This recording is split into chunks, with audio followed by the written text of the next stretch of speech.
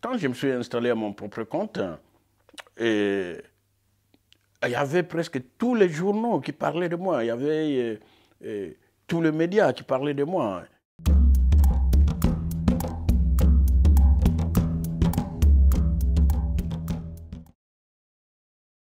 Et c'était comme cela que le responsable des revues euh, Bilingue Info m'a approché. Et, il voulait quelqu'un qui utilise euh, dans, son petit, dans, sa, peinture euh, le style de, comment dirais-je, d'enseigne, hein, les, enseignes. Parce que moi, ce que je faisais, je mettais des bulles, donc des, écrits, euh, dans mes tableaux.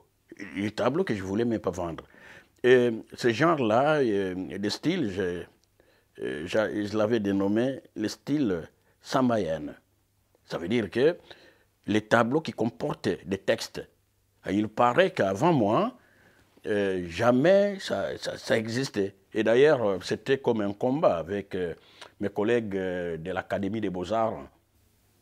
Moi qui n'étais pas leur pion, ah, ils venaient voir ce que je faisais et ils me disaient, mais pourquoi tu mets des textes? Ah, ça, Les textes, donc, ça cache ta, ton faible.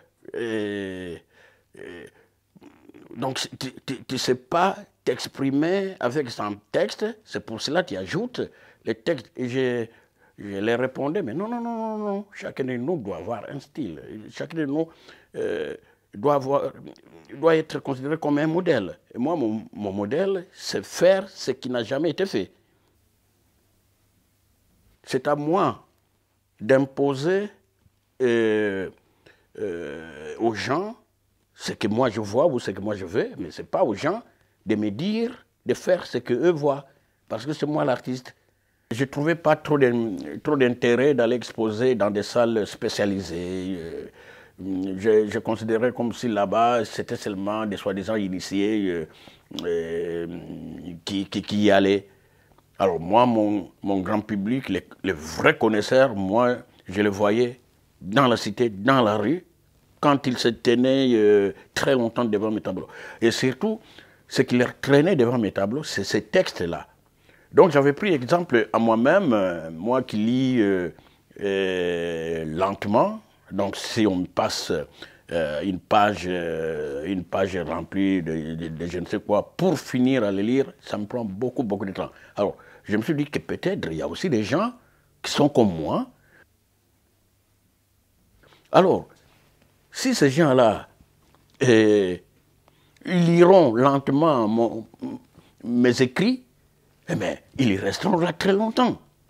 Et mon idée avait réussi. Donc à chaque fois, à chaque fois que je mettais mes tableaux devant mes façades, il y avait des foules, des, foules, véhicules, il y avait des difficiles euh, de passer à mon coin là. Et bon, voilà. Donc euh, mon style, euh, ce début-là avait bien réussi. Pas, seulement les débits, jusqu'à présent. Les enseignes, je, je les ai utilisées pendant que j'ai travaillé pour le compte des autres. Et quand je me suis installé à mon propre compte, j'ai voulu qu'il y ait le texte que j'ai parlé là, faire mon style euh, sambayen. Et j'ai choisi maintenant des, des thèmes, des sujets que je devais peindre.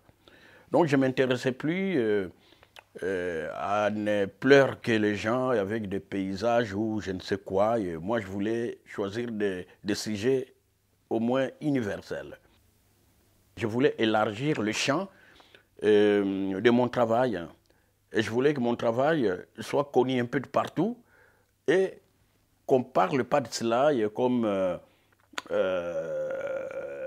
comme un travail de, de paysan.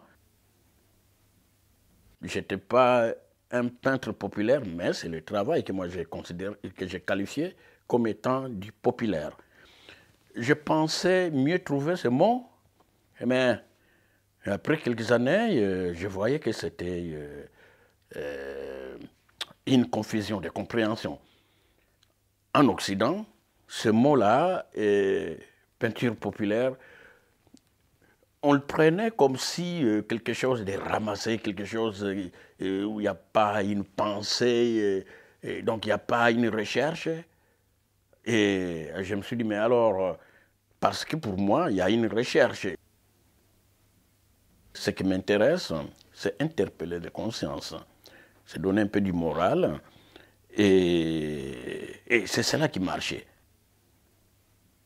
Dans un monde où on n'est pas seul, dans un monde où on est plusieurs, plusieurs qui font le même travail que toi, comment on peut se différencier? Je pense que des fois, il faut provoquer dans les vrais.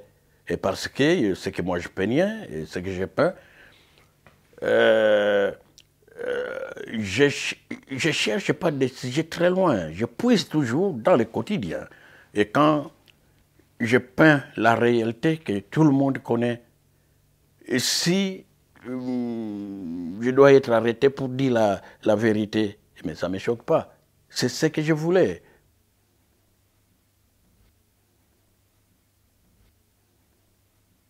Moi, en faisant cela, c'était ma renommée que je recherchais. Et donc, je ne, je regrettais rien, et même maintenant, je ne regrette rien. Euh, bien sûr que j'étais arrêté euh, par deux fois, et mais, maintenant, je pense que euh, on me croit quand je fais quelque chose, on prend ça en considération, on dit, ah, comme c'est Chéri Samba qui, a fait, il faut prendre ça en considération.